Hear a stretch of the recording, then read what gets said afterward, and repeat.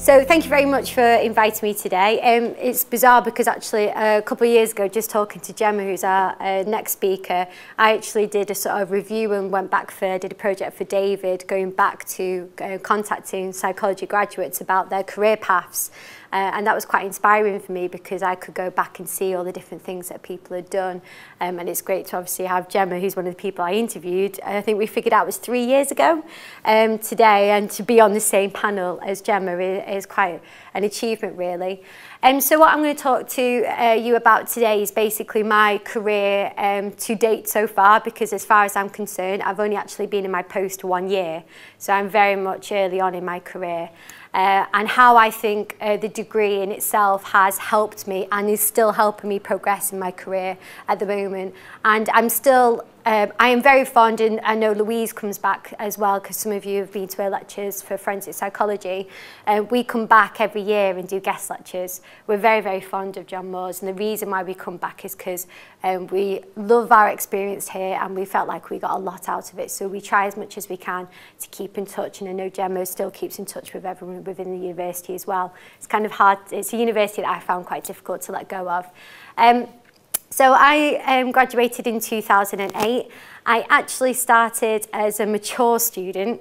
So um, believe it or not, I was a professional dancer before I became uh, doing what I'm doing today, which um, my staff friends think is hilarious and they try to bribe me with things on a day-to-day -day basis. Doesn't work, I'm retired mm -hmm. um, at a very young age. Um, and I got to a point in my life when um, I started the degree when I was 24. I'll let you figure out the timeline from yourselves. Um, I came back here at 24 and sort of decided at that age that dancing was something for me that was a kind of short-lived career and I wanted something that I was interested in. And it was as silly as I quite enjoyed reading books and I quite enjoyed the criminal psychology and I thought, that's a bit interesting, I'll give that a go. Never in a million years did I think I would end up here um, doing what I'm doing today. So um, I came back to uh, John Moores and the reason why I chose the degree was because it had the nice link of forensic psychology with the core and the Louise touched on it very much so, which is the idea of having um, that backing that you need. So if I decided, and speaking to some people today, not sure about what I wanted to do, I knew I had that accreditation in the undergraduate degree so I could go on to various careers afterwards. So that was really important to me. But the other strand of it was that I knew it had a criminal justice element to it. So if I wanted to go into a law side or a legal side or something criminology, I had that link as well. So the thing for me was um, you have the forensic psychology option to pick up in year three. And to me, that widens a door for you. And that's the main reason why I chose the degree. And I was really happy because I, I, I definitely wasn't wrong. And I'm fully aware you go through the undergraduate program, there's some modules you hate, and we were talking about this before, you know, some bits you don't like and some bits you don't. Um, I'll ask a question. Who doesn't enjoy research methods? Look at this, I knew this was going to happen. Okay, I am going to tell you now, research methods has been the one module that has got me where I am today. Okay, it is the most hated module amongst most students, But I guarantee you it is one of the key skills you will have as a psychology student. You can just about go into any career type with um, some kind of research working with people if you have got good research methods background. So if you're flunking in it, you need to bring your grades up for a start. You need to be bringing um, more attention to that because it's a real core skill. Um, so what happened is I finished in, oh, well, actually, um, year two, I remember sitting into a, a lecture, um, it was over at Criminal Justice, and they were talking about the criminal justice system and how a lot of the magistrates um, tend to obviously turn over 98% of all the criminal cases in the UK. But these magistrates are out of date, they're all old, they're all middle class. And I was like, well, surely I can do that then. So I picked up the phone, phoned my local court and said, how do I become a magistrate? They said apply. Next thing you know, by the end of year two, I'm sitting on a bench and deciding whether someone's guilty and whether I'm sending them to prison or not. So it was a very surreal experience that very quickly I got um, thrown straight into that criminal justice world. And that is the one thing that I think has really opened doors for me in my career. And it sounds very silly and very elitist, but having the title of Justice of the Peace after your name um, and having that experience of first-hand dealing with uh, the criminal justice system is something that really sold as a unique factor. So again, going back to Louise's point, both of us and the patterns, and Gemma will talk about it and what she's done as well, you'll see a recurring thing of volunteer work okay? If you've not already got that, going out there and getting some experience is really important. You know now it's very competitive out there. A degree is not enough. The whole idea is you get these wow skills from John Moores, but you need to go out there, you need to collect some other experience, and that's what's really important if you want to develop in your career. And I'm sure all of us would be happy to discuss a few more options around that. So I became a magistrate and I've been sitting on the bench now since, um, what, for six or seven years um, and find the experience extremely interesting. It's been a fantastic thing for me to do. Um, so by the time I got into year three, I knew my dissertation was all set up because I was going to do it on magistrates, and it's kind of led the way because uh, a couple of weeks ago I gave a lecture on the decision making in the courts for the year three forensic psychology. So year two students, you'll probably see me and Louise next year as well. Um, so when I finished, and I was talking about this before as well to some of the students, I had absolutely no idea what I wanted to do. I kind of thought I wanted to be a profiler. Didn't know the, whether the job existed, kind of like the idea of working with criminals, but had no idea whether there was actually a job that I could go out there and go, can I please apply? There are jobs that do exist if you're interested in working with uh, sort of the police from a criminal perspective and sort of profiling, and it's kind of, I'm using that as that's the term that everyone kind of knows. Um, they're very, very difficult to get, and there's not many of them that exist in the UK. And I didn't realise that until I came to the, the end of my undergraduate. So I kind of made a decision and I actually duly applied for um, a uh, GMP as a police officer and applied for a master's. And what I did was I applied for a few master's courses because when you come to the end of your um, undergraduate, you'll realise there's different types of courses around. There's some forensic psychology that are more focused on Louise's career, which is more about working with offenders, risk assessments, and much more of a forensic in the typical sense approach. And there's some courses like the one I decided to do, which was at Liverpool University, which was a bit more of a legal and a bit more of an investigative, that's why it's called investigative psychology. So I kind of knew, I did a bit of work experience over the summer of working with people with some uh, mental disorders, I hated it, okay? Very different experience, but this is the great thing about, uh, you know, different human beings love different things. I did that, figured out I didn't want to do that, then knew the course for me was do working with the police because I knew that I didn't want to deal with offenders uh, face to face. So before you decide what you want to do as a career, go and check that you actually like doing it. That's the best advice that I can possibly give you. So I tried to do both before I actually really committed to doing a master's because I wanted to know which career I wanted to go down.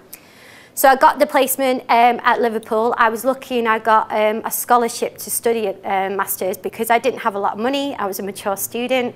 I had a house to pay, I was living with my partner, so I had all these things. And I managed to apply to Liverpool University and say, I've predicted a first class at John Moores, I'm a magistrate, I'm doing all of this. And they managed to get me a scholarship to actually study at uh, Liverpool University. So because of my experience and the stuff I gained at John Moores, that then led the way to um, the investigative psychology.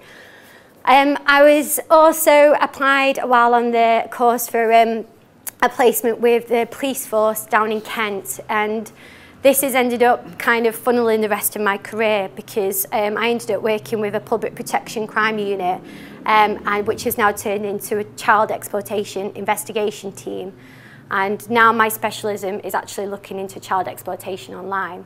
So from my master's placement I went to this force and I ended up developing a risk assessment tool um, with the detective chief inspector over there on assessing uh, the risk of child abuse in those offenders that are engaging in decent images.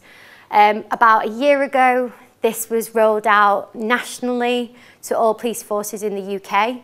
So every single police force in the UK is now using my risk assessment to say whether this, this person that they're looking at should be arrested today or whether this is something that we should be going and doing, maybe leaving and putting another case above it. Because the problem that we've got in the moment, as you'll probably see from the media, we've got a lot of offenders that are engaged in this behaviour. So I ended up being a bit of a profiler without actually realising it. I was sitting there realising, well, actually, what am I doing? I'm prioritising those offenders that are most at risk, which is more or less the profiling job. So this was um, started off as a master's and then because of the success of the project, it developed into the PhD. So I ended up working on the project for four years in total and got my PhD in, well, I had my Viva in November, October, I think it was. October, I managed to graduate in December with my nice big red gown from uh, Liverpool University and wandering around with it. I hide it for a week. I don't know why. I just kind of walked around at home with it on. so, um, yeah, so it was a very, very proud moment um, to become uh, a doctor um, in philosophy and to realise that in 2008 I finished my undergraduate here And in 2012, I was a doctor. It was quite a surreal experience for me. Um, and what's happened since then is I was quite, um, I say I was quite lucky. I knew I was coming to the end of my PhD and thought that um, I best start thinking about careers. Um, I had, was um, after my undergraduate, because I was, um, I call myself a geek. I was a bit of a geek at undergrad. I got a first class, you can probably imagine, mature student, was one of those people that didn't go to the parties that much. Yes, that was me. Um,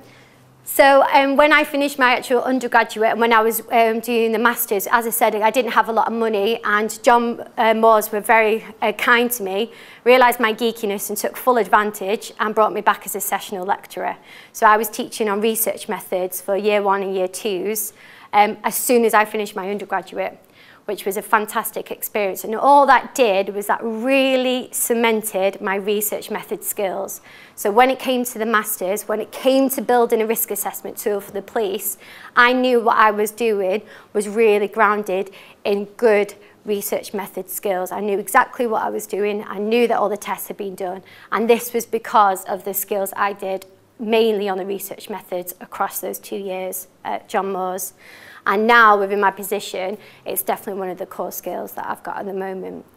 So um, moving on, so I applied for a position um, in February last year, so I'm just coming on to a year now for a lecturer position. Knowing that I hadn't finished my PhD yet, I still had about six months of writing up to do, maybe blagged it a little bit in the interview that I was nearly done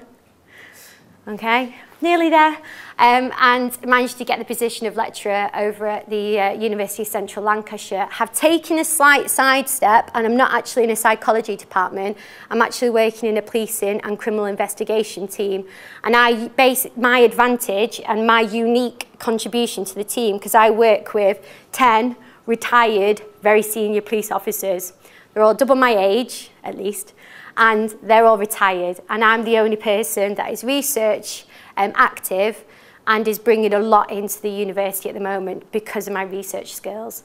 So I ended up with putting into a very unique position within that university and I absolutely love my job.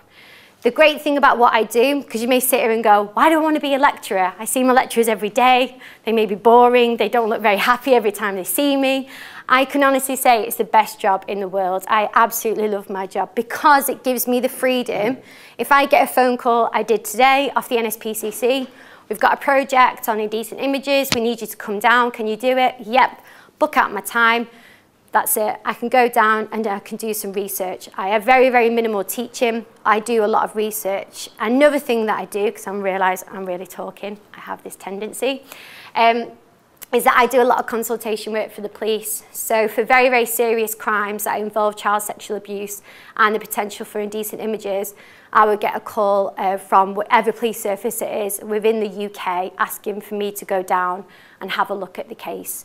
Um, and to me, that tells me that I've reached a really good stage in my career quite quickly, and I'm not too sure how I did it. I've becoming a bit of an expert in a, a niche uh, area uh, within forensic psychology. So it's kind of proud moment for me to say, well, from what I did in my undergraduate to get these calls on these very high profile cases and give advice to the police about the risk of this individual um, uh, is obviously a very good thing for me. And again, I will go back to the fact that as horrible as it sounds, the research methods for me personally was a key skill that I got in the undergraduate programme.